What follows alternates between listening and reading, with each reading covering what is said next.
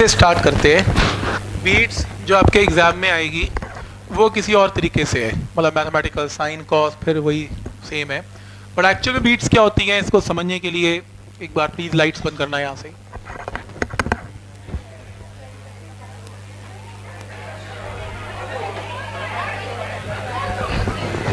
मैंने कहा लाइट बंद करना। मैंने ये नहीं कहा कि फिर साथ में शोर भी मचाना। ठीक है प्लीज़ प्लीज़ साइलेंस मैं शुरू करने वाला हूँ। बीट्स और बीट्स फ्रीक्वेंसी आओ इसकी बात करते हैं। तो बीट्स बस एक अजीब सा साउंड है जो कि कुछ ऐसा सुनाई देता है। सुनो। तो तुमने ये नोटिस किया होगा कि बीट्स और बीट्स फ्रीक्वेंसी आओ इसकी बात करते हैं। तो बीट्स बस एक अजीब सा साउंड है जो कि कुछ ऐसा सुनाई देता है। सुनो। तो तुमने ये नोटिस किया होगा कि साउंड की लाउडनेस ये ऑल्टरनेट कर रही है। ये लाउड से फिर सॉफ्ट फिर लाउड सॉफ्ट लाउड सॉफ्ट ऐसे ऑल्टरनेट करती जा रही है। तो ऐसा इसलिए हो रहा है क्योंकि एक्चुअली में तुम दो साउंड की वेव्स को सुन रहे हो जो कि इंटरफेयर कर रही हैं। और ये साउंड की वेव्स इनकी फ्रीक्वेंसी बहुत ही क्लोज है एक दूसरे के। ये बिल्कुल सेम नहीं, बल्कि बहुत ही क्लोज फ्रीक्वेंसीज हैं। और इनके इंटरफेरेंस के कारण ही हमें बीट सुनाई देता है। अब इसे अच्छे समझते हैं एक एग्ज़ाम्पल की मदद से। तो मेरे पास यहाँ पे एक स्पीकर है जो कि एक 440 हर्ट्ज की फ्रीक्वेंसी को जनरेट कर रहा है। सुनो। अब ये जब साउंड वेव्स हवा से ऐसे जाएँगी तो यहाँ पे कुछ एयर मॉलिक्यूल्स होने वाली हैं। हम फोकस करने वाले हैं एक पर्टिकुलर एयर मॉलिक्यूल पे। इस एयर मॉलिक्यूल पे फोकस करते हैं, ठीक है? अब जैसे ही ये वेव्स इसके क्रॉस करेंगे ना, इसे क्रॉस करेंगी तो ये एयर की मॉलिक्यूल ये ऑसिलेट करना चालू कर देगी अपने इक्विलिब्रियम पोजीशन के अबाउट अब हम समय के साथ साथ ये देखने वाले हैं कि इसकी डिस्प्लेसमेंट कैसे वेरी करती है। तो इसके लिए मैंने एक ग्राफ बना लिया है। ये रहा एयर मॉलिक्यूल की डिस्प्लेसमेंट वर्सेस टाइम का ग्राफ इस एयर मॉलिक्यूल की डिस्प्लेसमेंट वर्सेस टाइम का ग्राफ यानी कि समय के साथ साथ इसकी डिस्प्लेसमेंट ऐसे वेरी करती जा रही है। अब मैं यहाँ पे एक और स्पीकर लाने वाला हूँ। ये दूसरी वाली स्पीकर और ये सेम फ्रीक्वेंसी की साउंड को जनरेट कर रहा है। अब इस स्पीकर को मैं पहली वाली स्पीकर के डिट्टो ऊपर रख देने वाला हूँ ऐसे, ताकि सारी वेव्स ये इंटरफेयर कर जाएँ कंस्ट्रक्टिवली ये ओवरलैप कर जाएँ। अब आप देखते हैं कि इस केस में हमारी पार्टिकल की डिस्प्लेसमेंट ये कैसे वेरी करने वाली है। तो देखो ये सेकंड वाली वेव इसके कारण इस पार्टिकल की डिस्प्लेसमेंट ये भी बिल्कुल ही सेम ग्राफ आने वाला है। ये कुछ ऐसा ग्राफ होगा। देखो सेम फ्रीक्वेंसी होने वाली है। पीक टू पीक डिस्टेंस इन दोनों ही वेव्स का बिल्कुल ही सेम है। अब क्योंकि बिल्कुल कंस्ट्रक्टिव इंटरफेरेंस हो रहा है, ये दोनों स्पीकर्स ओवरलैप कर रहे हैं एक दूसरे के ऊपर। तो यानी कि ये वेव कुछ ऐसे ओवरलैप कर जाएगी, इस ग्रीन वाली वेव को। ये देखो पीक के ऊपर पीक पूरा का पूरा ओवरलैप हो चुका है। तो यानी कि कंस्ट्रक्टिव इंटरफेरेंस हो रहा है। और जो हमारी फाइनल वेव आने वाली है, ये फाइनल ग्राफ ये बहुत ही बड़ी ग्राफ होने वाली है, ऐसे कुछ। तो यानी कि इस केस में हमें जो साउंड सुनाई देगा यहाँ पे, ये बहुत ही लाउड होने वाला है। कंस्ट्रक्टिव इंटरफेरेंस हो रहा है यहाँ पे। अब देखो, अगर मैं इस स्पीकर को थोड़ा सा डिस्प्लेस कर दूँ थोड़ा सा ऑफ़ सेट कर दूँ, कुछ ऐसे, एक फेस डिफरेंस डाल दूँ, ऐसे कि यहाँ पे डिस्ट्रक्टिव इंटरफेरेंस होने लग जाए। यानी कि मेरी वेव्स ये कुछ ऐसे इंटरफेयर करेगी अब। देखो, पहली वाली की जगह जहाँ पे पीक है ना, वहाँ पे दूसरी वाली की वैली है। और दूसरी वाली की जगह पे पीक है, वहाँ पे पहली वाली की वैली है। तो यानी कि हर एक समय पे ये दोनों वेव्स ये एक दूसरे को कैंसिल आउट कर जाने वाली हैं। और यहाँ पे हमें नेट डिस्प्लेसमेंट ये हमेशा ज़ीरो आने वाला है। यानी कि ये पार्टिकल बिल्कुल भी मोशन नहीं करेगा डिस्ट्रक्टिव इंटरफेरेंस हो रहा है। और इसलिए यहाँ पे बिल्कुल भी कोई साउंड नहीं सुनाई देने वाली है। यानी कि अगर तुम दो साउंड वेव्स को लो, जिनकी फ्रिक्वेंसी बिल्कुल ही सेम है, और ये कंप्लीटली ओवरलैप कर रही है तो यानी कि कंस्ट्रक्टिव इंटरफेरेंस होगा और तुम्हें एक बहुत ही लाउड साउंड सुनाई देगी। लेकिन अगर तुम इन्हीं दोनों वेव्स को 180 degree out of phase overlap करवाओ तो इस केस में डिस्ट्रक्टिव इंटरफेरेंस होने वाली है और तुम्हें कोई साउंड सुनाई नहीं देगा। तो देखो, ये तो तब का केस था, जबकि दो सेम फ्रीक्वेंसी वाले साउंड वेव का हम इस्तेमाल कर रहे थे। अब अगर मैं एक ऐसी साउंड वेव का इस्तेमाल करूँ, जिसकी फ्रीक्वेंसी थोड़ी सी अलग हो पिछले वाले केस से, पहले वाले वेव से यहाँ पे मेरे पास आ गया दूसरा स्पीकर और ये जो साउंड वेव जनरेट करी है, इसकी फ्रीक्वेंसी थोड़ी सी अलग है, ये पहली वाली वेव से। तो यहाँ देखो, इस केस में क्या होगा कि कहीं कहीं पे हमें कंस्ट्रक्टिव इंटरफेरेंस मिलने वाला है और कहीं कहीं पे हमें डिस्ट्रक्टिव इंटरफेरेंस भी मिल सकता है। ये वेव्स आगे जाके आउट ऑफ़ फ़ेज़ भी हो जाती हैं। आओ ग्राफ के नज़रिए से देखते हैं। तो अगर मैं इस सेकेंड वाली वेव के कारण इस पार्टिकल की डिस्प्लेसमेंट का ग्राफ बनाऊँ तो ये कुछ ऐसा ग्राफ आने वाला है। देखो, अगर तुम ध्यान से देखोगे तो ये पहली वाली वेव इसकी टाइम पीरियड कुछ ये होने वाली है पीक टू पीक के बीच की ड्यूरेशन और इस सेकेंड वाली वेव की ड्यूरेशन ये कुछ ज़्यादा बड़ी होने वाली है। देखो थोड़ा सा डिफरेंस आ रहा है, लेकिन इसी डिफरेंस के कारण हमें बीट सुनाई देती है। अब देखते हैं कैसे। अगर मैं इन दोनों को ओवरलैप कर दूँ, यानी कि इंटरफेयर करवाऊं तो ये कुछ ऐसा होने वाला है। ये ग्राफ को मैं पकड़ के इसके ऊपर डाल देता हूँ। हाँ। तो अब देखो, इस टाइम पे, क्योंकि ये एक्सिस टाइम है ना तो यानी कि इस टाइम पे हमें दिख रहा है कि दोनों वेव्स कंप्लीटली ओवरलैप कर गई हैं। यानी कि यहाँ पे हो रहा है कंस्ट्रक्टिव इंटरफेरेंस कंस्ट्रक्टिव इंटरफेरेंस इस समय पे हो रहा है कंस्ट्रक्टिव इंटरफेरेंस और हमें लाउड साउंड सुनाई देने वाली है। लेकिन अगर तुम थोड़ा सा ही आगे जाओगे तो तुम्हें दिखेगा कि ये पिंक वाली वेव ये थोड़ी सी आउट ऑफ़ फेस हो गई है। देखो, जिस टाइम पे ये ग्रीन वाली वेव का मैक्सिमम आता है, यानी कि इसके कारण ग्रीन वाली वेव के कारण पार्टिकल की मैक्सिमम डिस्प्लेसमेंट होनी चाहिए, उस टाइम पे ये पिंक वाली वेव इसके कारण थोड़ा सा ही डिस्प्लेसमेंट होता है राइट डायरेक्शन में पॉजिटिव डायरेक्शन में। तो यानी कि यहाँ पे कंस्ट्रक्टिव कंप्लीटली कंस्ट्रक्टिव इंटरफेरेंस नहीं होगा। हाँ कंस्ट्रक्टिव इंटरफेरेंस होने वाला है, थोड़ा सा कंस्ट्रक्टिव इंटरफेरेंस अब अगर मैं थोड़ा सा और आगे जाऊँ तो यहाँ पे और कम कंस्ट्रक्टिव इंटरफेरेंस होगा। थोड़ा सा और आगे जाऊँ तो और कम कंस्ट्रक्टिव इंटरफेरेंस अब यहाँ पे देखो, यहाँ पे पिंक वाली वेव की पीक है, लेकिन ग्रीन वाली वेव की, ये तो वैली आ रही है यहाँ पे। यानी कि इसकी पीक इसकी वैली से मैच कर रही है। यानी कि यहाँ इस केस पे होने वाला है डिस्ट्रक्टिव इंटरफेरेंस ये दोनों एक दूसरे को कैंसिल आउट कर देने वाले हैं। और हमें यहाँ पे कोई भी साउंड नहीं सुनाई देने वाली है। यहाँ पे थोड़ी सी सॉफ्ट साउंड सुनाई देने वाली है। तो यहाँ हो रहा है डिस्ट्रक्टिव इंटरफेरेंस अब अगर मैं थोड़ा सा और आगे जाऊँ तो यहाँ पे देखो ये जो ग्रीन वाली वेव है, इसका पीरियड कम है। यानी कि ये एक एक्स्ट्रा साइकिल कवर कर जाती है और यहाँ पे आके ये फिर से कंप्लीट ओवरलैप कर रही है इस पिंक वाली वेव के साथ। तो यहाँ होने वाला है फिर से कंस्ट्रक्टिव इंटरफेरेंस कंस्ट्रक्टिव इंटरफेरेंस तो देखो कंस्ट्रक्टिव फिर डिस्ट्रक्टिव फिर कंस्ट्रक्टिव यहाँ तक पॉइंट समझ में आया। कि अगर दो बिल्कुल आइडेंटिकल वेव्स हैं, है ना तो जो सोर्स है दोनों एक दूसरे के ऊपर पड़े हुए हैं आइडेंटिकल वेव है तो हमेशा क्रेस्ट क्रेस्ट पे ट्रफ ट्रफ पे तो बिल्कुल आइडेंटिकल वेव जनरेट हो गई। तो बस साउंड साउंड की लाउडनेस बढ़ जाएगी, उसने कहा। लेकिन अगर हम दो ऐसी फ्रीक्वेंसीज को यूज़ करें, जो कि सेम नहीं है थोड़ा सा अंतर है फ्रीक्वेंसी में, आप चेक कर सकते हो। इसका टाइम पीरियड ग्रीन वाली वेव का कितना है? कैपिटल टी है।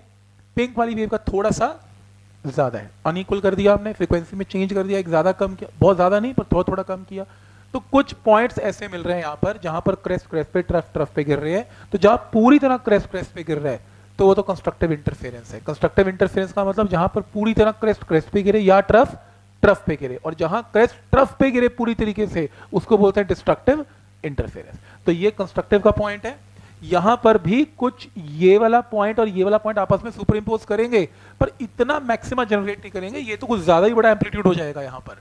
यहाँ पर उतना एम्पलीट्यूड थोड़ा कम होगा, फिर कम कम करते करते इस पॉइंट पर उसने क्या कहा क्रेस्ट और ट्रफ एक दूसरे पे कैंसल यानी कि दोनों वेव ऐसे प्रोड्यूस कर रही है डिस्प्लेसमेंट कि नेट डिस्प्लेसमेंट यहाँ पर क्या आएगी? ज़ीरो तो यानी कि कुछ पॉइंट देखो, हर जगह कंस्ट्रक्टिव डिस्ट्रक्टिव नहीं है। कुछ ऐसे पॉइंट्स मिल रहे हैं जहाँ पर कंस्ट्रक्टिव है, कुछ ऐसे पॉइंट्स मिल रहे हैं जहाँ पर डिस्ट्रक्टिव है, कुछ कुछ ऐसे पॉइंट जहाँ पर कंस्ट्रक्टिव है, फिर डिस्ट्रक्टिव कंस्ट्रक्टिव डिस्ट्रक्टिव यहाँ तक क्लियर है? अब इससे होता क्या है? इसको समझो। यानी कि तुम्हें इस समय लाउड साउंड सुनाई देगी, फिर थोड़ी सॉफ्ट साउंड सुनाई देगी, फिर थोड़ी लाउड साउंड सुनाई देगी। तो यानी कि अगर तुम यहाँ पे खड़े हो, इस पार्टिकल के बगल में, और साउंड को सुन रहे हो तो तुम्हें साउंड की लाउडनेस में एक फ्लक्चुएशन सुनाई देने वाला है। जब ये वाला पोर्शन हिट करेगा तो यानी कि तुम्हें एक लाउड साउंड सुनाई देगी, क्योंकि यहाँ पे हो रहा है कंस्ट्रक्टिव इंटरफेरेंस और जब ये वाला पोर्शन हिट करेगा तो तुम्हें एक सॉफ्ट साउंड सुनाई देगी, क्योंकि यहाँ पे हो रहा है डिस्ट्रक्टिव इंटरफेरेंस अब इसी फ्लक्चुएशन इन लाउडनेस इसी को हम कह देते हैं बीट्स अब इसे एक बार बजा के सुन भी लेते हैं। मैं प्ले करने वाला हूँ एक 440 हर्ट्ज की फ्रीक्वेंसी ऑफ़ साउंड को। ये कुछ ऐसी सुनाई देने वाली है। सुनो। अब फिर मैं प्ले करने वाला हूँ एक ऐसी फ्रीक्वेंसी जो कि बहुत ही क्लोज हो इस 440 हर्ट्ज के। मैं प्ले करूँगा 443 हर्ट्ज की फ्रीक्वेंसी ये कुछ ऐसी सुनाई देने वाली है। अब वैसे तो तुम्हें इन दोनों फ्रीक्वेंसी के बीच में ज़्यादा अंतर समझ में नहीं आया होगा। लेकिन अगर मैं इन दोनों फ्रीक्वेंसी को साथ में प्ले करूँ ना तो हमें बीट सुनाई देने वाली है। सुनो, कुछ ऐसे। तो ये जो फ्लक्चुएशन तुम्हें सुनाई दे रहा है साउंड की लाउडनेस में लाउड सॉफ्ट लाउड सॉफ्ट इसी को हम कह देते हैं बीट्स अब आप बात करते हैं बीट फ्रीक्वेंसी के बारे में। अब देखो, जैसे कि नाम बोलता है बीट फ्रीक्वेंसी ये होती है फ्रीक्वेंसी ऑफ़ बीट्स यानी कि एक सेकंड में कितने बीट्स प्रोड्यूस हो रहे हैं, कितने बीट्स सुनाई दे रहे हैं। अब देखो, एक बीट होता है, यानी कि जब साउंड लाउड होके सॉफ्ट हो जाए और फिर से लाउड हो जाए वापस तो इसे हम कह देते हैं एक बीट और ये जितना होगा एक सेकंड में, उसी को हम कहते हैं बीट फ्रीक्वेंसी या फिर हम इसे ऐसे भी देख सकते हैं कि एक सेकंड में कितनी बार साउंड की वेव फॉर्म ये कंस्ट्रक्टिव से डिस्ट्रक्टिव होकर वापस से कंस्ट्रक्टिव हो जाए। यानी कि इस पर्टिकुलर फॉर्म को हम कह देते हैं एक बीट और जितनी बार ये हो रहा होगा एक सेकंड के अंदर, उसे हम कह देंगे बीट फ्रीक्वेंसी अब अगर बीट फ्रीक्वेंसी ये एक बड़ा नंबर आ जाए, यानी कि बहुत ज़्यादा बीट सुनाई देने वाली है पर सेकेंड और अगर बीट फ्रीक्वेंसी ये एक छोटा नंबर आ जाए तो यानी कि बहुत ही कम बीट सुनाई देने वाली है पर सेकेंड अब आप देखते हैं कि बीट फ्रीक्वेंसी को कैलकुलेट कैसे किया जाए। तो हम इस वीडियो में बात करने वाले हैं केवल बीट फ्रीक्वेंसी के फॉर्मूले के बारे में। हम इसे डिराइव नहीं करेंगे। हम केवल देखते हैं कि फॉर्मूला क्या है और इसे कैसे इस्तेमाल किया जाए। फ्रीक्वेंसी ऑफ़ बीट्स तो ये बराबर होता है फ़र्स्ट वेव की frequency f one minus second wave की frequency f one minus f two इसके बराबर होता है हमारा बीट फ्रीक्वेंसी अब यहाँ पे हमने इस्तेमाल किया था 440 हर्ट्स की फ्रीक्वेंसी और एक 443 हर्ट्स की फ्रीक्वेंसी तो यानी कि बीट की फ्रीक्वेंसी हो जाएगी 443 माइनस 440 यानी कि 3 हर्ट्ज यानी कि एक सेकंड में टोटल तीन बीट तीन बीट तुम्हें सुनाई देगी। तुम एक बार खुद भी चेक करके देख सकते हो। अब देखो, तुम्हारे दिमाग में एक सवाल उठ रहा होगा कि अगर F1 ये एक छोटी फ्रीक्वेंसी हो गई F2 के कंपैरिजन में, तब तो हमारे पास नेगेटिव बीट फ्रीक्वेंसी आ जाने वाली है। अब इस नेगेटिव फ्रीक्वेंसी इसका मतलब क्या होता है? तो देखो, वैसे नेगेटिव फ्रीक्वेंसी का कोई मतलब होता नहीं है। इसलिए हम क्या करते हैं कि फॉर्मूले में हम एक मॉडलेस लगा देते हैं। यहाँ पे एक मॉड लगा देते हैं, ताकि हमारा आंसर ये हमेशा पॉजिटिव ही रहे। अब अगर तुम्हें बीट्स जनरेट करनी हो तो तुम्हें दो ऐसी साउंड वेव्स को इंटरफेयर करवाना पड़ेगा, जिनकी फ्रीक्वेंसी थोड़ी अलग अलग हो। अब जब भी दो वेव्स इंटरफेयर करती हैं तो हमारे पास एक फाइनल नेट वेव आ जाती है। और यही नेट वेव ये हमारे कानों में जाने वाली है और हमें बीट सुनाई देगी। अब देखो, ये नेट वेव निकालने के लिए हमें इन दोनों वेव्स को ऐड करना पड़ेगा। अगर मैं इस नेट वेव की इक्वेशन लिखना चाहूँ तो मैं लिखूँगा, y total y total is equal to wave one की equation y one plus wave two की इक्वेशन। ये हम मैथमेटिकली करेंगे। y two. तो और अगर मुझे इस नेट वेव की शेप ड्रॉ करनी हो देखो मैं क्या करूँगा कि यहाँ पे कोई भी टाइम इंस्टेंट लूँगा और उस पे जो वेव वन की डिस्प्लेसमेंट हो रही है प्लस कर दूँगा मैं उससे वेव टू की डिस्प्लेसमेंट और मेरे पास आ जाएगा final displacement of the wave at that time instant और वैसे ही मैं हर एक टाइम इंस्टेंट के लिए ये डिस्प्लेसमेंट निकाल दूँगा। और फिर मैं इन सारे पॉइंट्स को ड्रॉ कर दूँगा और मेरे पास आ जाएगा फाइनल वेव की शेप और ये मैंने पहले ही ड्रॉ कर रखा है तुम्हारे लिए। ये कुछ ऐसी दिखने वाली है। ये ऐसी हाँ। तो देखो, यहाँ पे हो रहा है कंस्ट्रक्टिव इंटरफेरेंस यहाँ पे हो रहा था कंस्ट्रक्टिव इंटरफेरेंस ना। दोनों वेव्स कंप्लीटली ओवरलैप कर रही थी। और इसलिए इन दोनों का डिस्प्लेसमेंट कंप्लीटली एड अप हो जा रहा था और हमारे पास इसलिए एक मैक्सिमम पीक आ रही है। यहाँ पे हो रहा था डिस्ट्रक्टिव इंटरफेरेंस तो यहाँ पे पीक ऑलमोस्ट ज़ीरो हो जा रही है। और यहाँ पे हमारे पास फिर से एक मैक्सिमम पीक आ रही है क्योंकि यहाँ पे कुछ फिर से कंस्ट्रक्टिव इंटरफेरेंस हो रहा था। तो फाइनली इंटरफेरेंस के बाद हमारी बीट की वेव कुछ ऐसी दिखने वाली है और यही हमारे कानों में जाएगी। अब देखो, इसलिए हमें लाउडनेस में एक फ्लक्चुएशन सुनाई देने वाला है। यहाँ पे एम्पलीट्यूड क्योंकि बहुत ही हाई है, इसलिए एक लाउड साउंड सुनाई देगी। लेकिन यहाँ पे, क्योंकि एम्पलीट्यूड ऑलमोस्ट ज़ीरो है तो एक सॉफ्ट साउंड सुनाई देने वाली है और फिर से यहाँ पे एक लाउड साउंड सुनाई देने वाली है। तो ये हो गई हमारी बीट्स की ग्राफ अब आप बीट्स पे एक सवाल बना के देख लेते हैं। तो मेरे पास यहाँ पे एक बांसुरी है और एक शहनाई है। और इन दोनों को सेम फ्रीक्वेंसी बजानी है। मान लो कि कुछ 440 हर्ट्ज और ये बांसुरी ये तो करेक्ट फ्रीक्वेंसी बजा रही है। 440 हर्ट्ज की फ्रीक्वेंसी ये बजा रही है। अब देखो, ये शहनाई ये थोड़ी सी अलग फ्रीक्वेंसी को बजा रही है। और ऐसा मैं इसलिए बोल रहा हूँ क्योंकि तुम्हें सुनाई दे रहा है बीट्स देखो, ये इन दोनों की आवाज़, ये इंटरफेयर करने वाली है। और अगर इन दोनों की फ्रीक्वेंसी अलग होगी, तभी तो बीट्स क्रिएट होगा। तो यानी कि यहाँ पे बीट्स क्रिएट हो रहा है। और हमें दिया हुआ है कि बीट की frequency number of beats per second ये दी हुई है कुछ फाइव हर्ट्स और हमें पता लगाना है कि इस सहनाई की फ्रीक्वेंसी ये क्या क्या हो सकती है। तो देखो बीट की फ्रीक्वेंसी होती है दोनों म्यूजिकल इंस्ट्रूमेंट की फ्रीक्वेंसी का डिफरेंस तो यानी कि इन दोनों की फ्रीक्वेंसी के बीच में पाँच हर्ट्स का अंतर है। तो यानी कि शहनाई की फ्रीक्वेंसी ये 440 हर्ट्ज से पाँच बड़ी हो सकती है या तो पाँच कम हो सकती है। यानी कि शहनाई की फ्रीक्वेंसी ये कुछ 440 प्लस फाइव यानी कि 445 हर्ट्स हो सकती है। या फिर 440 फोर्टी माइनस फाइव यानी कि 435 435 हर्ट्ज हो सकती है। यानी कि हमारी शहनाई, इन दोनों फ्रीक्वेंसी में से कोई एक फ्रीक्वेंसी बजा रही होगी। अब देखो, वैसे इस बीट फ्रीक्वेंसी का इस्तेमाल करते हैं म्यूजिशियंस अपने म्यूजिकल इंस्ट्रूमेंट को ट्यून इन करने के लिए। मान लो कि तुम्हारे पास एक गिटार है, और इसे बजाना चाहिए 440 हर्ट्ज अब तुम्हें चेक करना है कि तुम्हारी गिटार सही काम कर रही है कि नहीं। तो उसके लिए तुम किसी मशीन पे 440 हर्ट्ज की फ्रीक्वेंसी को प्ले करना। और इसके साथ साथ तुम अपने गिटार को भी प्ले करना। अब ये दोनों साउंड ये इंटरफेयर करने वाली है। और इंटरफेयर करने के बाद अगर तुम्हें बीट सुनाई दे तो इसका मतलब कि तुम्हारी गिटार सही फ्रीक्वेंसी प्ले नहीं कर रही है। इसे तुम्हें और ट्यून करने की ज़रूरत है। और इसके बाद तुम फिर से चेक करोगे और इसे तब तक चेक करते रहोगे जब तक कि बीट सुनाई देना बंद नहीं हो जाए। क्योंकि जब तुम्हारी गिटार की फ्रीक्वेंसी 440 को मैच कर जाएगी, तब ये दोनों फ्रीक्वेंसी सेम हो जाने वाली है। और अगर फ्रीक्वेंसी सेम हो साउंड वेव की तो बीट सुनाई नहीं देती है।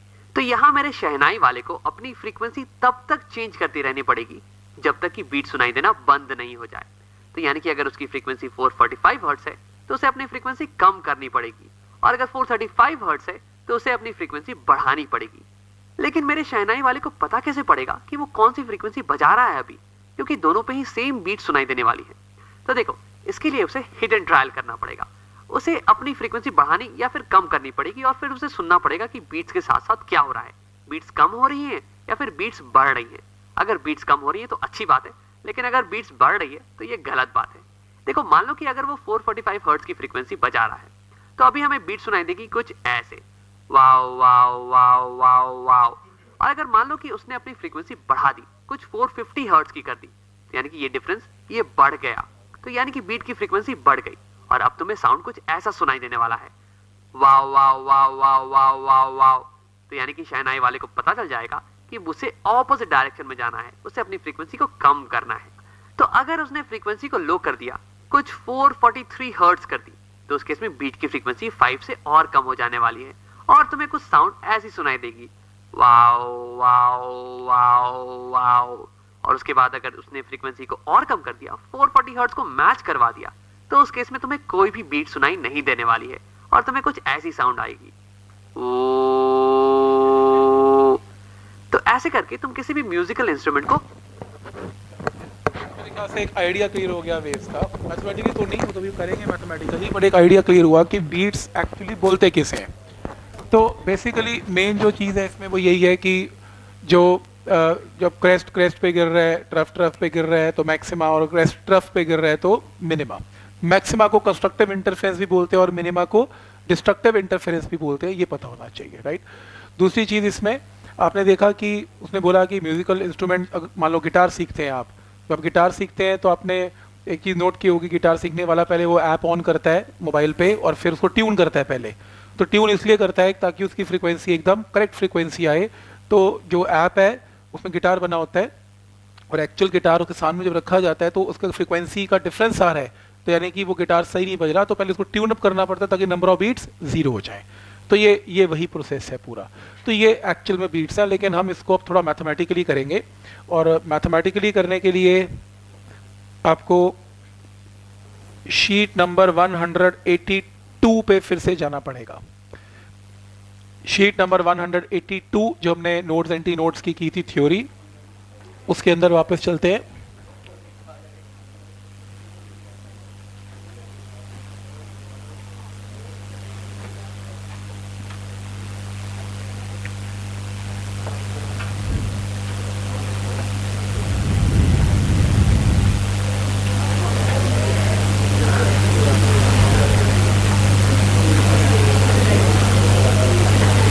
देखो, इसके अंदर बीट्स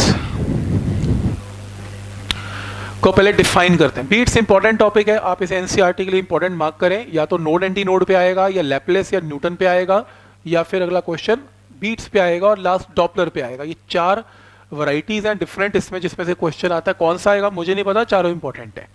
तो इसके अंदर बीट्स के अंदर वैन टू हार्मोनिक वेव जब हार्मोनिक वेव्स हैं nearly of same frequency exactly same तो बिल्कुल भी नहीं होगी, क्योंकि अगर एग्जैक्टली exactly सेम होगी तो f one minus f two कोई बीट जनरेट नहीं होगी जैसे सुनने का तो कुछ तो डिफरेंस होना चाहिए बीट्स को सुनने के लिए। तो difference of frequency f one minus f two तो ये डिफरेंस बहुत ज़्यादा भी नहीं होना चाहिए कि मान लो एक 600 हर्ट्स है और एक सिर्फ़ 6 हर्ट्स है तो भी बीट जनरेट नहीं होगी। नियरली ऑफ़ सेम फ्रीक्वेंसी तो nearly of same frequency travelling in a medium along the same direction जब स्पीकर रखा था सेम डायरेक्शन में वेव्स गई थी ऑपोजिट में स्टैंडिंग वेव्स होती हैं सेम डायरेक्शन में बीट्स होती हैं। अब क्या होता है, in same direction superimpose upon each other एक दूसरे पे सुपर इम्पोज होती है the intensity of resultant sound तो जो इन दोनों वेव्स को मिला के जो साउंड बन के आती है, उसकी जो इंटेंसिटी होती है, किसी भी पॉइंट पे राइजेस एंड फॉल्स पीरियोडिकली तो इंटेंसिटी बढ़ जाती है कंस्ट्रक्टिव इंटरफेरेंस फॉल करती करती ज़ीरो हो जाती है डिस्ट्रक्टिव फिर बढ़ती है कंस्ट्रक्टिव और फिर डिस्ट्रक्टिव पर पहले मैं क्लियर कर दूँ, हमने जो अभी सुने रिकॉर्डिंग उसके अंदर एम्पलीट्यूड को यूज़ किया गया. इंटेंसिटी वर्ड यूज़ नहीं किया गया. इंटेंसिटी और एम्पलीट्यूड में क्या फ़र्क है? अगर मैं ये बोलता हूँ कि आपके पास एक साउंड है और जिसका ये एम्पलीट्यूड है, ये एक वेव है, जिसका एम्पलीट्यूड फोर सेंटीमीटर है लेटर सपोज़ आपके पास एक साउंड है, जिसका amplitude amplitude later suppose six centimetre है. तो जब हम बोलते हैं एम्पलीट्यूड ज़्यादा है, यानी कि पार्टिकल अपनी मेन पोजीशन से ज़्यादा डिस्प्लेस हुआ है। चार सेंटीमीटर में कम डिस्प्लेस हुआ है 600 सेंटीमीटर में बहुत डिस्प्लेस हुआ है। तो ऐसे केस में लाउडनेस साउंड की बहुत ज़्यादा होगी। अगर मैं धीरे बोल रहा हूँ एयर के पार्टिकल कम ऑसिलेट कर रहे हैं एम्पलीट्यूड कम है, और अगर मैं ज़ोर की बोल रहा हूँ तो एम्पलीट्यूड ज़्यादा। तो इस तरीके से ज़्यादा एम्पलीट्यूड है। इवन ये भी होता है कि मैं मान लो इतनी ज़ोर की बोलता हूँ, इतनी ज़ोर की बोलता हूँ, इतनी ज़ोर की बोलता हूँ कि शीशे टूट जाए। क्यों? शीशे टूट जाते हैं। बॉम्ब एक्सप्लोड होता है, शीशे टूटते हैं। तो ऐसा क्यों? ऐसा इसलिए क्योंकि शीशे, जो ग्लास है, ग्लास के पार्टिकल वाइब्रेट करते हैं। हल्के हल्के वाइब्रेशन, ब्रिज की तरह वाइब्रेट करते रहते हैं। बॉम्ब जब एक्सप्लोड करता है या जब कोई बहुत ऊँची बोलता है तो फोर्सफुली एयर के पार्टिकल को ज़बरदस्ती, बहुत ज़ोर की एम्पलीट्यूड, हाई एम्पलीट्यूड से ऑसिलेट करवाता है। वो फोर्स ग्लास के पार्टिकल तक पहुँचती है। कभी कभी क्या होता है ग्लास का पार्टिकल इधर जा रहा है और आपकी फोर्स्ड वाइब्रेशन भी इधर जा रही है। एसएचएम की प्रॉब्लम हो गई अभी ये। ब्रिज वाली सोल्जर पास करना चाहते हैं ब्रिज ब्रिज ऊपर नीचे जा रहा है और बाई चांस सोल्जर भी उसी फ्रीक्वेंसी के साथ मैच कर गए तो रेजोनेंस होगी एम्पलीट्यूड लार्ज हो गया। इसमें हल्के एम्पलीट्यूड के साथ ग्लास के पार्टिकल ऑसिलेट कर रहे हैं। आपकी फोर्स क्या चाहती है, वो भी उसी फ्रीक्वेंसी के साथ मान लो ऑसिलेट करती है तो अगर ग्लास का पार्टिकल थोड़ा दूर जा रहा था ग्लास काँप रहा था तो दूर जा रहा था और फोर्स भी उसको दूर ले गई एम्पलीट्यूड बिकम लार्ज रेजोनेंस हो गई कि ग्लास का पार्टिकल और आपकी फोर्स उससे दूर लेके जा रहे हैं, दोनों के दोनों इकट्ठे दूर लेके जा रहे हैं रेजोनेंस हो गई ग्लास टूट जाएगा एम्पलीट्यूड बिकम्स लार्ज खैर, इसका इससे लेना देना नहीं है बाई चांस याद आया तो बीच में बता दिया तो इसके अंदर ये बता रहा हूँ कि एम्पलीट्यूड बड़ा होता है तो यानी कि उसमें एनर्जी ज़्यादा होती है। और एनर्जी पर सेकेंड पर यूनिट एरिया का दूसरा नाम इंटेंसिटी है। तो हम इसको बाद में करेंगे कंपटीशन में इंटेंसिटी का एक मैथमेटिकल टॉपिक है। तो जो इंटेंसिटी होती है that is directly proportional to the ये जो इंटेंसिटी जो है is something related to energy तो जब मैं बोलता हूँ एनर्जी ज़्यादा है, हम एनर्जी नहीं बोलते हम बोलते हैं इंटेंसिटी हम बोलते हैं अगर साउंड बहुत ज़्यादा है साउंड की इंटेंसिटी बहुत ज़्यादा है। यानी कि साउंड की जो एनर्जी आई, उसकी वैल्यू बहुत ज़्यादा है। पर एक्चुअल में मैथमेटिकली और फिजिक्स के हिसाब से उसकी डिस्प्लेसमेंट बहुत ज़्यादा है। तो यानी कि हम एक आम बंदे को ये तो नहीं कह सकते कि भाई साउंड ज़्यादा है तो देख एयर के पार्टिकल है, वो एयर के पार्टिकल जो है वो हिल रहे हैं, वो बहुत दूर दूर तक to and fro periodic motion में है। उसको बातें समझ में नहीं आएँगी मतलब क्या बातें करी जा रहे हैं? एयर का पार्टिकल हिल रहा है, नहीं हिल रहा। तो आपको यार इंटेंसिटी बहुत ज़्यादा है एनर्जी बहुत ज़्यादा है। वो कहेगा हाँ ठीक है, समझ में आ गया एनर्जी ज़्यादा है। तो इंटेंसिटी भी एक टर्म है एक्सप्लेन करने के लिए लाउडनेस तो बेसिकली जो इंटेंसिटी होती है वो किसी भी पार्टिकल के एम्पलीट्यूड के स्क्वायर के प्रोपोर्शनल होती है, ये मैथमेटिकल फॉर्मूला है। जिसको हम कंपटीशन में प्रूव भी करेंगे कि चाहे आप एम्पलीट्यूड ज़्यादा बोले, चाहे आप इंटेंसिटी ज़्यादा बोले, कोई फ़र्क नहीं प्रोपोर्शनल है। ठीक? पर उसने इंटेंसिटी समझा दिया, कोई बात नहीं, आप एम्पलीट्यूड बोलना चाहो एम्पलीट्यूड बोल दो, तब भी कोई दिक्कत नहीं। जस्ट मैं बता रहा हूँ कि कभी कभी इंटेंसिटी वर्ड भी यूज़ करेगा। तो इंटेंसिटी कभी ज़्यादा हो गई इंटेंसिटी फिर ज़ीरो हो गई, फिर ज़्यादा हो गई, फिर ज़ीरो हो गई, और राइजेस एंड फॉल्स पीरियोडिकली ऐसा नहीं कि कभी ज़्यादा हुई फिर दस, दस घंटे के बाद ज़्यादा हुई. पीरियोडिकली मतलब अगर अभी इंटेंसिटी मैक्सिमम है कंस्ट्रक्टिव इंटरफेरेंस है मान लो ठीक दो सेकंड और एक सेकंड के बाद डिस्ट्रक्टिव है. अगले एक सेकंड के बाद कंस्ट्रक्टिव है. अगले एक सेकंड के बाद डिस्ट्रक्टिव है. अगले एक सेकंड में कंस्ट्रक्टिव है. यानी कि एक पीरियोडिक मोशन है. ऐसा नहीं कि अपनी मर्ज़ी से है. हर पीरियड एक पीरियोडिक मोशन के बाद कम या ज़्यादा है. इरेगुलर इंटरवल नहीं है रेगुलर इंटरवल पे है सारा कुछ. तो तभी फॉल्स पीरियोडिकली बोला विद टाइम टाइम के साथ ये चीज़ें चेंज हो रही है पीरियोडिकली इस पीरियोडिक वेरिएशन को क्या बोलते हैं? बीट्स एक बीट का मतलब होता है, एक कंस्ट्रक्टिव इंटरफेरेंस होना और एक डिस्ट्रक्टिव इंटरफेरेंस होना। हम बोलते हैं एक बीट हो गई, ज़्यादा कम मैक्सिमा मिनिमा एक बीट फिर अगली बीट में मैक्सिमा मिनिमा मैक्सिमा का मतलब कंस्ट्रक्टिव मिनिमा का मतलब डिस्ट्रक्टिव तो कंस्ट्रक्टिव डिस्ट्रक्टिव एक बीट तो सोचो मैक्सिमा मैक्सिमा या maxima minima maxima minima maxima minima तो यानी कि ये बीट जनरेट हो रही है, और अगर मैं बोलता हूँ तीन बीट्स मुझे सुनाई दी तो तीन बीट सुनाने का मतलब मुझे तीन मैक्सिमा और तीन मिनिमा सुनाई देंगे। तो बनेगी तीन बीट्स क्लियर है यहाँ तक?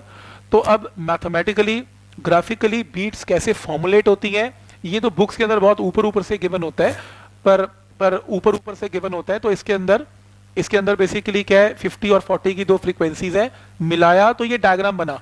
ये डायग्राम बुक से देखे कहा समझ में आता है? वो इतना वीडियो है जो उसे याद है, उसने मैक्सिमम इनमा कंस्ट्रक्टिव को अलग बनाया था डिस्ट्रक्टिव को, वो ये वो डायग्राम है।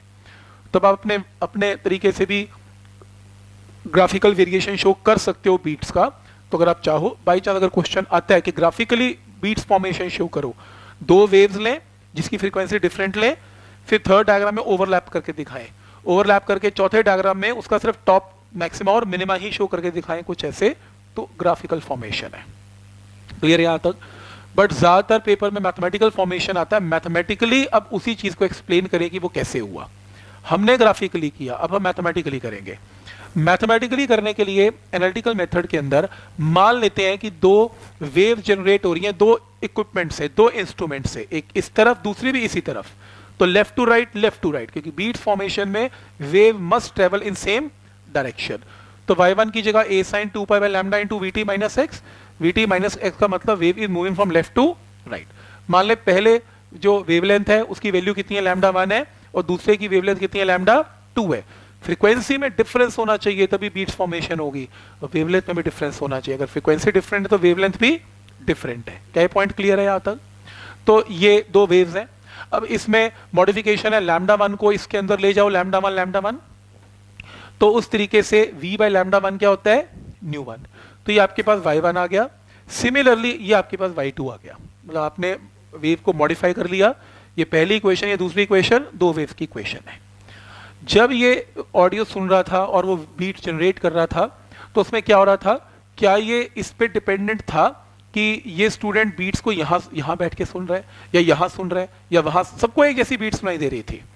तो beats is independent of location of listener listener कहाँ पर होगा, उससे कोई फ़र्क नहीं पड़ता। चाहे पास हो, चाहे दूर हो, उसको भी उतनी बीट सुनाई देंगी जो पहले को सुन रही है। अब इमेजिन करें, दो रेडियोज यहाँ पर है, मेरी तरफ़ आवाज़ आ रही है, दो सोर्सेज वहाँ पर है। मैं यहाँ पे खड़ा हुआ हूँ। कितनी दूरी पे खड़ा हुआ हूँ? एक्स दूरी पे खड़ा हुआ हूँ। तो मेरी इक्वेशन एक्स दूरी पे ये बनेगी। ठीक? दूसरी आवाज़ आई, जिसकी वेवलेंथ कितनी है? लैमडा टू है। या फ्रीक्वेंसी न्यू टू है और मैं एक्स दूरी पे खड़ा हूँ। दोनों के लिए मैं एक्स डिस्टेंस पे खड़ा हूँ। अगर मैं एक्स को कम करता हूँ भी कोई फ़र्क नहीं। एक्स कम कर दो तो भी बीट तो तब भी सुनाई देंगी। मैं एक्स और कम करता हूँ, तब भी सुनाई देंगी। तो मैं कहीं पर भी खड़ा जाऊँ एक्स कम हो या ज़्यादा हो बीट्स सुनाई देंगी। क्या तो क्लियर है?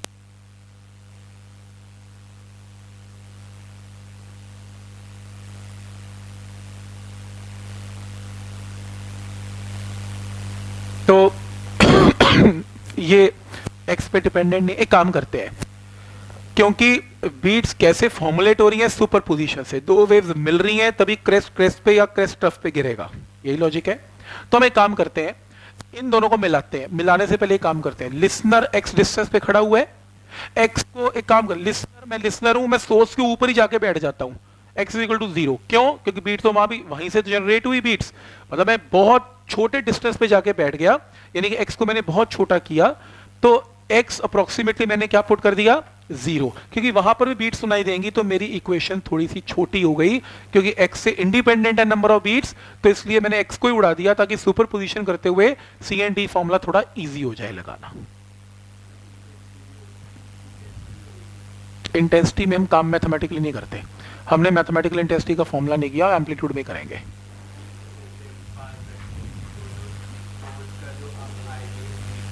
हाँ। तभी नहीं डिस्कस हो तभी तो मैथमेटिकल इंटेंसिटी डिस्कशन नहीं हो रही, क्योंकि वो डिस्टेंस पे डिपेंड करेगी इंटेंसिटी पर यहाँ पर हम इंटेंसिटी से हम ये देख रहे हैं कि वो मैक्सिमम मिनिमम हो रहा है। हम ये नहीं देख रहे कि वो कितने अमाउंट की एनर्जी ज़्यादा है, कितनी अमाउंट की एनर्जी कम है। हो सकता है दूर जाओगे तो साउंड आपको कम सुनाई दे। नंबर ऑफ़ बीट्स आपको उतनी ही सुनाई देंगी। इसको ज़ोर की सुनाई देगी साउंड आपको थोड़ी कम ज़ोर की, लेकिन ब्रेक उतनी ही जितनी इसको ब्रेक सुनाई दे रही है, उतनी आपको ब्रेक सुनाई देंगी। तो हम यहाँ पर इंटेंसिटी में कभी काम नहीं कर रहे, क्योंकि जितनी दूर जाओगे साउंड की इंटेंसिटी उतनी एनर्जी कम हो जाती है। तो इसलिए वो मैथमेटिकल एनर्जी को बीच में लेके नहीं आ रहा। सिर्फ़ ये काउंट करके बताना है नंबर ऑफ़ बीट्स कितनी है, बस। हम इसमें एनर्जी पे काम नहीं कर रहे। हाँ नंबर सेम होएगा। ऊँची सुने या कम ऊँची सुने, उससे एक अलग बात है, पर नंबर ऑफ़ बीट सेम होंगी। हम ये मानते हैं एम्पलीट्यूड सेम है। लेकिन एक्चुअल में रियलिटी में दूर जाते हो तो एम्पलीट्यूड जो है तो इक्वल अमाउंट से कम हो जाता है, ये मानते हैं। तो ए ए ए ही लेके चलेंगे। हाँ इंटेंसिटी के बारे में भी बात करेंगे आउट ऑफ़ ट्रैक हो जाएगी गाड़ी। तो एक काम करते हैं, ये दो इक्वेशन हमने बनाई, ध्यान आके सुपर इम्पोज करें सुपर पोजिशन प्रिंसिपल क्या कहता है, इन दोनों को ऐड कर दें। और एक नई वेव निकलेगी जहाँ से बीट्स निकलेंगी। ऐड करने का मतलब y1 वन प्लस वाई तो y1 और y2 की वैल्यू को पुट किया। एक कॉमन आ गया मेडिकल के लोग फिर से वही चीज़ sine C plus sine D sine of C plus D by two cos of C minus D by two two यहाँ से कॉमन कैंसल टू यहाँ से कॉमन कैंसल तो ये बनेगा साइन ऑफ़ यहाँ से पाई कॉमन आ गया पाई टी कॉमन आ गया और cos of pi t common आ गया। अब क्योंकि इसमें साइन के अंदर टाइम आ रहा है कॉस के अंदर टाइम आ रहा है, जब हमने नोट्स एंटी नोट्स किए थे, मैंने रूल बताया था, जिसमें टाइम आ रहा है उसको पीछे रखे, जिसमें एक्स आ रहा है उसको आगे रखे। इसमें टाइम इसमें भी आ रहा है टाइम जिसको मर्ज़ी आगे रखें, जिसको मर्ज़ी पीछे रखें, कोई चक्कर नहीं, आपकी मर्ज़ी है। तो मैंने इसमें साइन को पीछे रख लिया और कॉस वाली टर्म को आगे रख लिया। और मैंने कहा जो रिजल्टेंट वेव आई, उसका ये क्या बन गया? Amplitude this is resultant amplitude क्या पॉइंट क्लियर है? दिस इज़ रिजल्टेंट एम्पलीट्यूड तो उल्टा भी कर सकते हो, कोई दिक्कत नहीं। तो रिजल्टेंट एम्पलीट्यूड आ गया मेरे पास।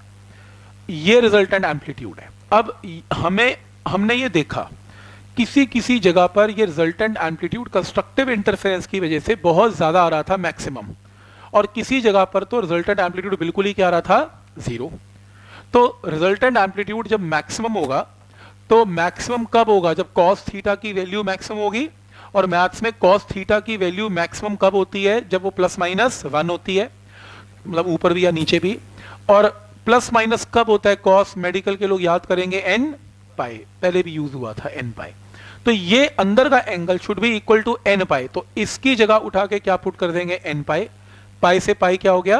कैंसल टाइम की वैल्यू आ गई। तो इतने इंस्टेंट ऑफ़ टाइम पे आपको कंस्ट्रक्टिव इंटरफेरेंस सुनाई देगी, यानी कि मैक्सिमा सुनाई देगा।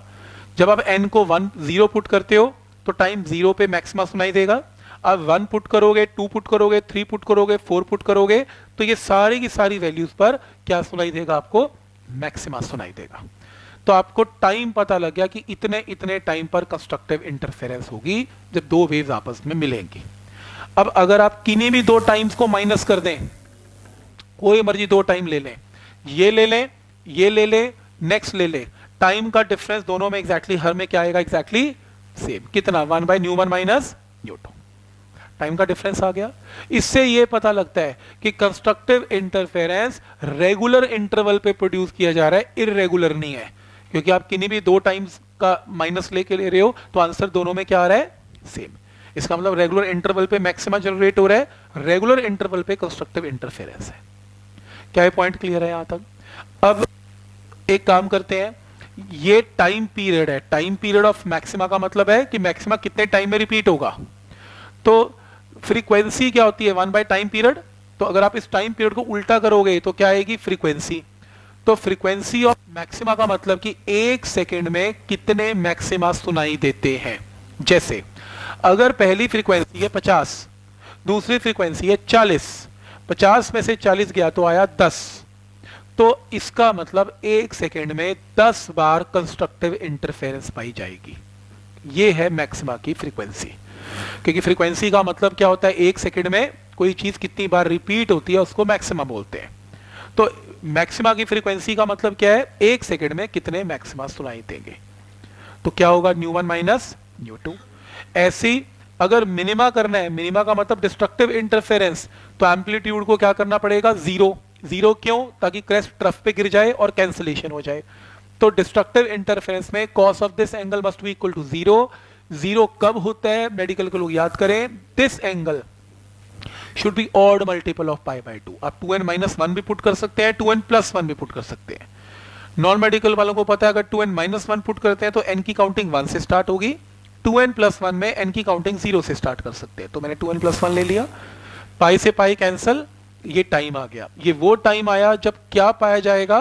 डिस्ट्रक्टिव इंटरफेरेंस यानी कि मिनिमा जैसे कि एन को जब ज़ीरो पुट करेंगे तो इतने टाइम पे डिस्ट्रक्टिव है।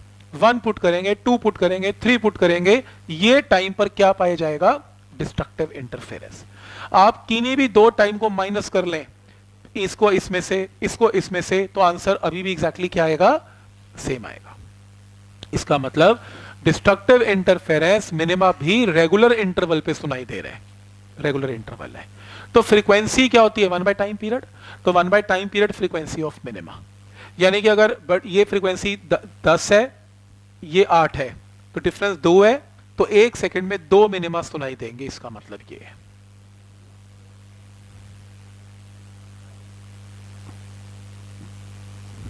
टू एन प्लस वन में तो ज़ीरो होता ही है ना। तो आप फिर एन की काउंटिंग ज़ीरो से स्टार्ट नहीं करेंगे।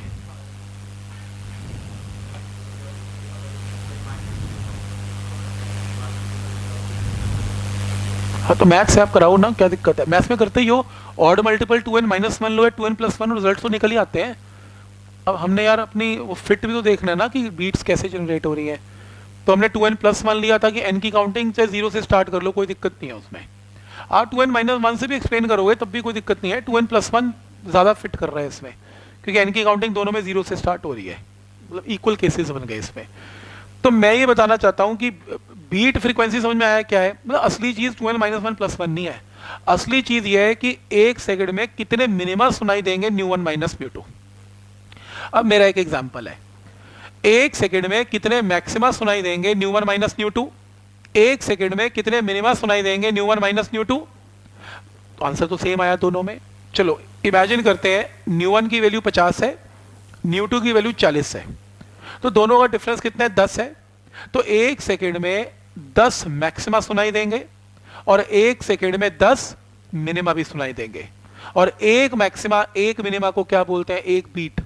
तो यानी कि दस मैक्सिमा, दस मिनिमा का मतलब दस बीट। तो एक सेकेंड में दस बीट सुनाई देंगी। इसीलिए बोला जाता है कि बीट फ्रीक्वेंसी, अगर कोई पेपर में आएगा, बीट फ्रीक्वेंसी बीट फ्रीक्वेंसी भी क्या होती है? न्यू वन माइनस यहाँ तक प्रूव करके आने आपको beat frequency nu one minus nu two है। और ये तो मैंने आपको सिर्फ़ समझाने के लिए बनाया कि मैक्स ये टाइम एक्सेस है। Time t is equal to zero पे मैक्सिम है, इतने टाइम पे मैक्सिम है, इतने टाइम पे मैक्सिम है, इतने टाइम पे मैक्सिम है। इन दोनों के बीच में इतने टाइम पे मिनिम है, इतने टाइम पे मिनिम है, इतने टाइम पे मिनिम है। तो उस केस में आप ये चीज़ देखें कि एक मैक्सिमा, फिर minima. Maxima minima. Maxima, minima, यानी कि पीरियोडिकली रिपीट हो रहे हैं। तो जो थ्योरी हमने आज देखी उस एनिमेशन में, उसका मैथमेटिकल वर्जन समझ में आ रहा है। वो थ्योरेटिकल है, एकदम सही कॉन्सेप्चुअल है, और ये मैथमेटिकल है। दोनों चीज़ें एकदम मैच कर रही है। क्या ये पॉइंट क्लियर है यहाँ तक? इसके अंदर जो नेक्स्ट है application of beats application of beats के अंदर पहली एप्लीकेशन है determination of frequency by method of beats जैसे कि एक एक इंस्ट्रूमेंट की फ्रीक्वेंसी 10 है। दूसरे इंस्ट्रूमेंट के साथ उसकी नंबर ऑफ़ बीट्स दो हैं। तो दूसरे की फ्रीक्वेंसी क्या होगी? या तो 10 से दो ज़्यादा होगी 12 या फिर 8 क्योंकि 12 में से 10 गया तो भी दो। 10 में से 8 गया तो भी दो। यानी कि दूसरे इक्विपमेंट की फ्रीक्वेंसी या तो दो ज़्यादा होगी या दो कम, आप अंदाज़ा लगा सकते हो क्या फ्रीक्वेंसी हो सकती है। तो ये एप्लीकेशन ऑफ़ बीट है। अभी करेंगे भी एप्लीकेशन ऑफ़ बीट्स में। तो पहले इक्विपमेंट की अगर फ्रीक्वेंसी पता है, और ये पता है कि दूसरे इक्विपमेंट के साथ वो कितनी बीट्स दे रहे हैं तो दूसरे इक्विपमेंट की फ्रीक्वेंसी भी हम इजिली निकाल सकते हैं। नेक्स्ट है musician make use of phenomena of beats in matching frequency of various instrument बताया मैंने गिटार सिखाने वाला बीट्स की हेल्प से गिटार की फ्रीक्वेंसी सेट करेगा, तब गिटार सिखाएगा। Difference between travelling and standing wave भी आ जाता है पेपर में। ट्रेवलिंग वेव का मतलब है कि जो सीधी वेव जाती जाती है, सीधी डायरेक्शन में ट्रेवलिंग है।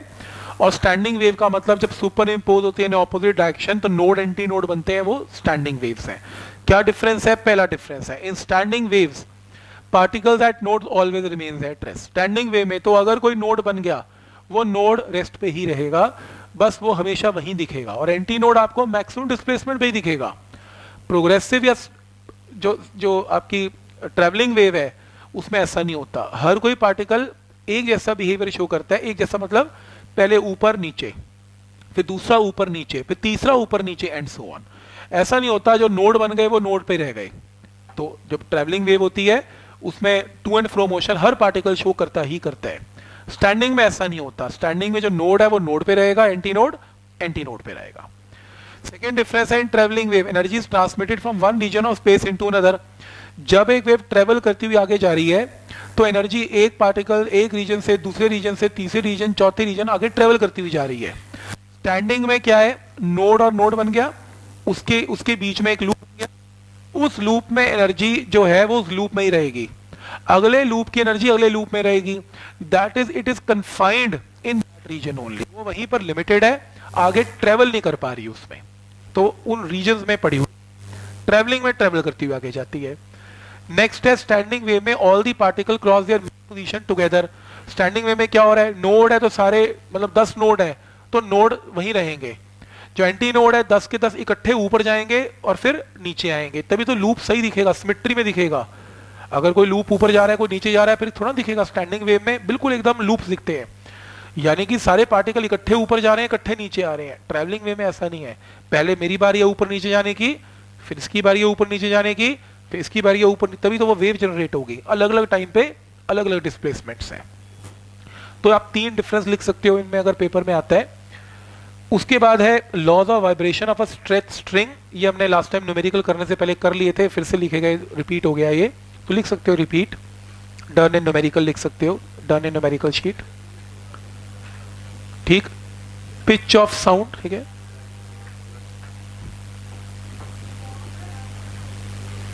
Pitch of sound pitch of sound है कि is is the perception of sound frequency by human brain हमारा दिमाग कैसे साउंड को ऑब्ज़र्व करता है, वो पिच है। अगर किसी की आवाज़ तीखी है, हम फिजिक्स में बोलते हैं, उसकी फ्रीक्वेंसी ज़्यादा है। ब्रेन कहता है, मुझे लगता है कि तीखा बोल रहा है। यानी कि उसकी पिच ज़्यादा है, बात एक ही है। पिच वर्ड ब्रेन के लिए है और एक्चुअल फ्रीक्वेंसी है। बात पिच और फ्रीक्वेंसी सेम ही होती है। तो हायर फ्रीक्वेंसी साउंड ज़्यादा श्रिल तीखी सुनाई देती है और हाई पिच पे होती है। और low frequency sound low pitch पे होती है लो फ्रीक्वेंसी पे होती है। हायर पिच का मतलब तेज तेज वाइब्रेशन हो रही हैं और लोअर पिच का मतलब धीरे धीरे वाइब्रेशन हो रही हैं। और साउंड वेव के कुछ फैक्ट्स हैं। पहला फैक्ट है ऑल साउंड वेव में नॉट ऑसिलेट सिंपल हार्मोनिकली हमने हालाँकि ये माना है कि मोशन एस में है। लेकिन ज़रूरी नहीं होता कि सारे एस में होते हैं। तो normal human ear can hear all the frequency between 20 to 20 kilo hertz ये ऑडिबल रेंज है हमारी। अगर कोई फ्रीक्वेंसी साउंड की 20 हर्ट से कम है तो वो इंफ्रासोनिक है। अगर 20 किलो हर्ट से ज़्यादा है तो वो अल्ट्रासोनिक है। बैट्स जो है, वो 100 किलो हर्ट्स की फ्रीक्वेंसी को सुन सकते हैं। फ्रीक्वेंसी बाय म्यूजिकल इंस्ट्रूमेंट तो कह रहे हैं कि इस केस में overall sound by musical instrument consist of many different mode of vibration किया हमने? म्यूजिकल इंस्ट्रूमेंट के डिफरेंट मोड ऑफ़ वाइब्रेशन होते हैं, यानी कि मिक्सचर ऑफ़ फ्रीक्वेंसीज निकलती हैं। तो मिक्सचर ऑफ़ साउंड में लोअर फ्रीक्वेंसी सबसे छोटी फ्रीक्वेंसी का नाम क्या होता है? फंडामेंटल इसको छोड़ के सारी फ्रीक्वेंसीज का नाम क्या होता था? ओवरटोन्स और जो ओवरटोन्स हैं ओवरटोन्स में जिनकी frequency integral multiple of fundamental है, उस इंटेग्रल मल्टीपल को क्या बोलते थे? हार्मोनिक तो हमने किया हुआ हार्मोनिक्स और ओवरटोन्स क्या होते हैं? ये आपको पता होना चाहिए। 182 के बाद 100